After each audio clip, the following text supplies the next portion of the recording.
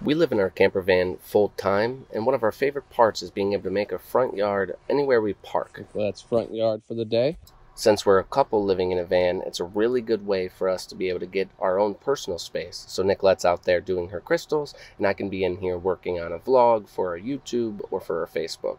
On this particular day, Nicolette made us a charcuterie board with some brie cheese from Aldi's, strawberries, raspberries, crackers, and even little chocolate bars. It was kind of great. It was our little way to commemorate Memorial Day. We spent the whole day here enjoying each other's company, food, and the beautiful surroundings, and we share our experience traveling around living in a camper van to encourage others to live out their dreams.